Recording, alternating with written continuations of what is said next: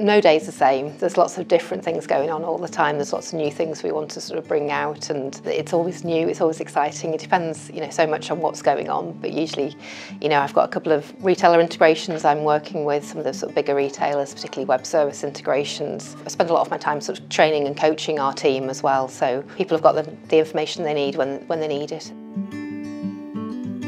So a typical day uh, would be looking at uh, emails when we first get in. Uh, a lot of the developers we work with are international, so some people might be working when I'm asleep. And then um, speaking with our relationship managers, booking in new demonstration calls or catch-up calls with retailers either that day or in a few days' time. Having various calls with developers, retailers, understanding their requirements. Every retailer is different and we want to make sure we're providing that bespoke service to them.